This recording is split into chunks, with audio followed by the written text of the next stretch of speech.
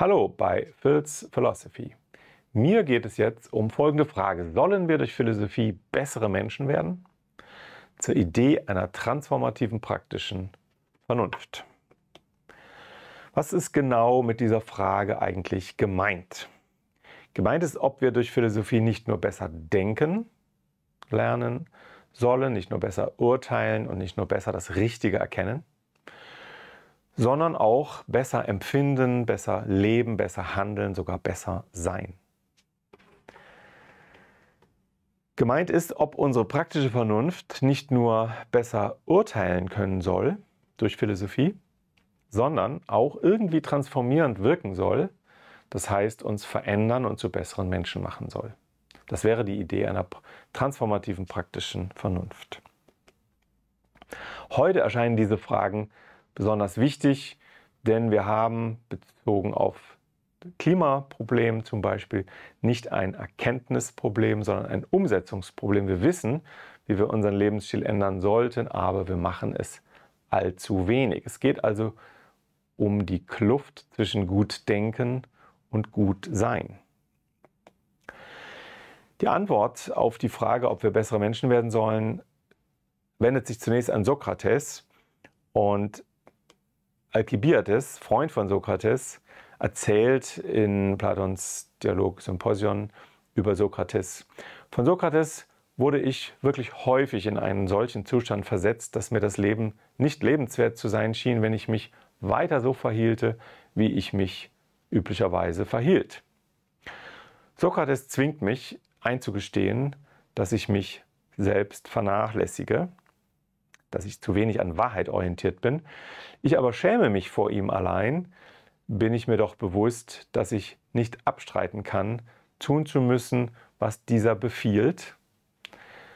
Dass ich aber, wenn ich dann weggegangen bin, den Beifallskundgebungen der großen Menge erliege, also zum Beispiel beim Reden vor der Menge, ich entlaufe mir also, ihm also, ich entlaufe Sokrates und fliehe vor ihm jedes Mal. Und wenn ich ihn dann wieder sehe, schäme ich mich der Missachtung des eingestandenen Alkibiades hat also aus dem Philosophieren Erkenntnisse gezogen, die er dann aber nicht umsetzt in seinem Leben. Sokrates möchte, dass wir durch Philosophieren, also durch das Prüfen der eigenen Lebensgrundsätze, ein wahrhaftigeres Leben führen, mehr orientiert an Wahrheit als an Erfolg.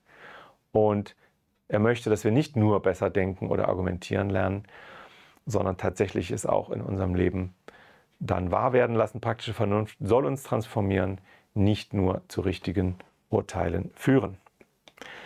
Ein zweites Beispiel ist Aristoteles, der nämlich eine Unterscheidung macht zwischen gutem Denken und gutem Sein.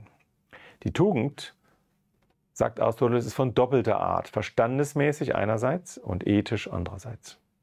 Die verstandesmäßige Tugend entsteht und wächst durch Belehrung und durch Studium.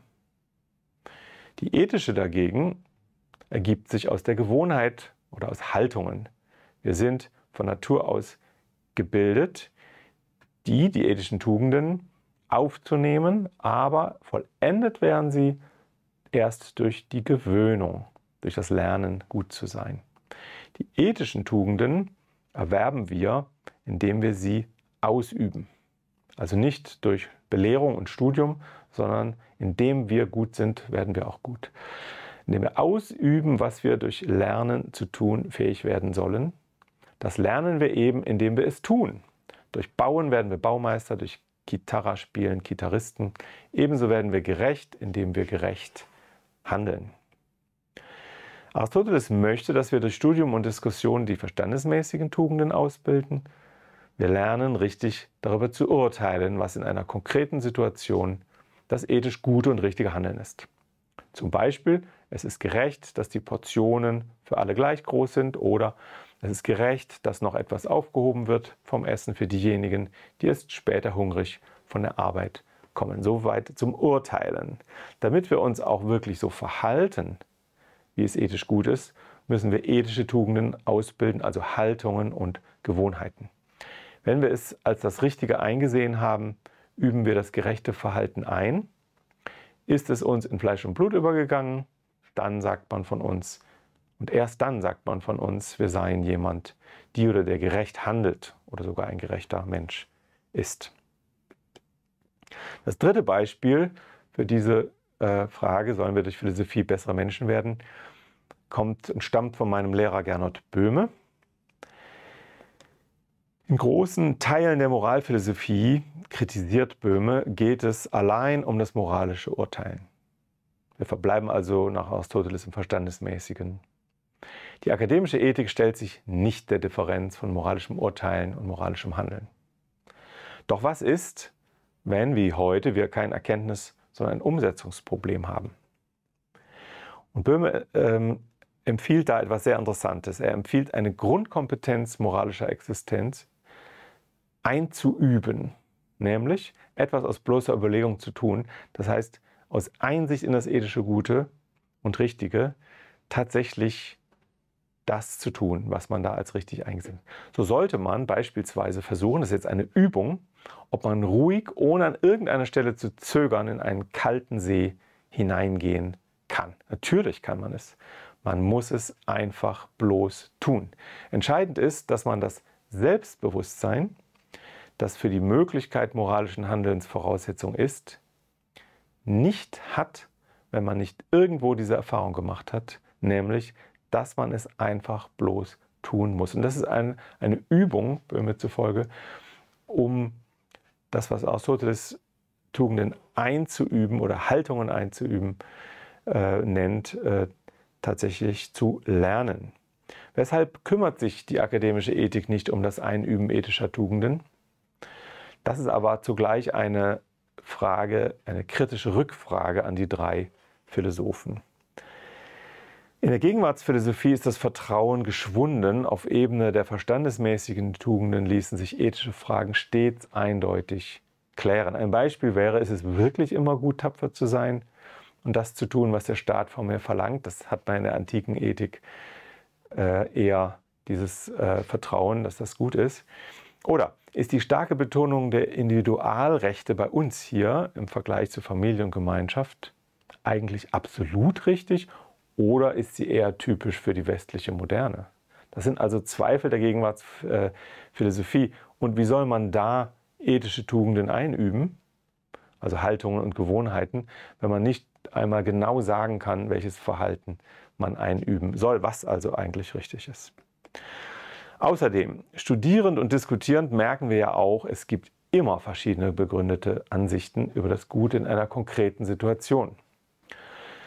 Wenn aber diese verschiedenen Ansichten in demokratisch legitimierte Gesetze einfließen, dann reicht das doch und wir brauchen keine besseren Menschen zu werden. Wir brauchen also nicht durch Philosophie verändert zu werden. Meine Take-Home-Message. Sokrates, Aristoteles, Böhme und auch andere Philosophinnen sagen ja, wir sollen und können durch Philosophie andere Menschen werden. Studierend und diskutierend müssen wir gemeinsam unseren Verstand gebrauchen, um erst einmal herauszufinden, was in der jeweiligen Situation das ethisch Gute oder Richtige ist. Doch es auch zu tun, das fällt uns oft schwer. Haben wir das Gute gefunden, dann müssen wir im Sinne einer transformativen praktischen Vernunft tatsächlich die ethischen Tugenden überhaupt erst einüben. Und das geht nur, indem wir das, was zu tun ist, eben üben, praktizieren und zu unseren Haltungen und Gewohnheiten machen. Sonst bleibt es einfach nur bei der Erkenntnis. Aber man kann dagegen einen Einspruch formulieren, nämlich es gibt immer verschiedene begründete Ansichten über das Gute und man könnte einfach daraus demokratisch legitimierte Gesetze machen, dann reicht das und die Philosophie könnte in diesem politischen Geschäft mithelfen und bräuchte uns dann nicht zu besseren Menschen zu machen. Sollen wir durch Philosophie bessere Menschen werden? Ich habe euch die Idee einer transformativen praktischen Vernunft vorgestellt und ihr denkt unbedingt weiter darüber nach. Bis zur nächsten Frage bei Phil's Philosophy.